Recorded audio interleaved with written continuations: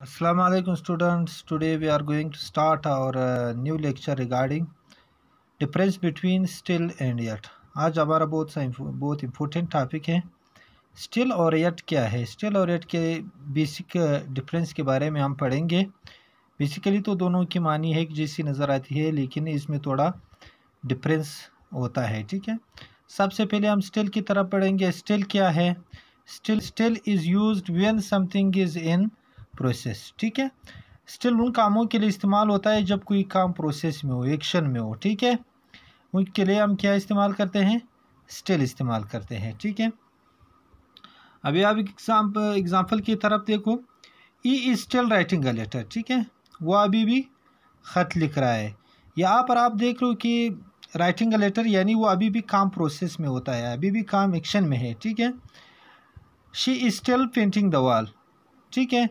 अभी यहाँ पर देखो शी स्टिल फिंटिंग दवाल का मतलब ये है कि वो अभी भी दीवार रंग कर रहा है। इसका मतलब है कि काम जो है, वो अभी भी प्रोसेस में है। अभी भी एक्शन में है, ठीक है? काम जारी है, इसलिए इसके लिए इसके साथ हम क्या इस्तेमाल करते हैं? स्टिल इस्तेमाल करते हैं। They are still taking breakfast ठीक है, वो अभी भी नाश्ता कर रहा है। It means the work is in action the work is in process यानी काम जारी है प्रोसेस में है एक्शन में है, इसके लिए हम क्या इस्तेमाल करते हैं? स्टिल इस्तेमाल कर क्या है। यट को उर्दू में कहते हैं अभी तक। ठीक है? नोट क्या है? Yet is use when something is not in action ठीक है? यट किस चीज़ के लिए इस्तेमाल होता है? यट का मतलब है जब कोई काम एक्शन में नहीं हो, जब कोई काम प्रोसेस में नहीं हो। ठीक है? मसलन बेसिकली डिफरेंस तो भी यही है यट और स्टिल के दरमियान कि स्टिल उन कामों के लिए हम इस्तेमाल करते हैं जब कोई काम एक्शन में हो, कोई काम प्रोसेस में हो, उसके साथ हम स्टिल इस्तेमाल करते हैं, ठीक है सेंटेंस में? और यट हम उनके लिए इस्तेमाल करते हैं जब कोई काम प्रोसेस में नहीं हो, ठीक है?